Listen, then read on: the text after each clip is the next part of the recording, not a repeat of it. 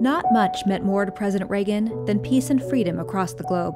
During an address to the nation and other countries on United States Soviet Union relations in 1984, President Reagan said, We live in a time of challenges to peace, but also of opportunities to peace. Through times of difficulty and frustration, America's highest aspiration has never wavered. We have and will continue to struggle for a lasting peace that enhances dignity for men and women everywhere. Thank you for joining us for this week's Throwback Thursday with President Reagan. Join us next week as we share another inspirational quote.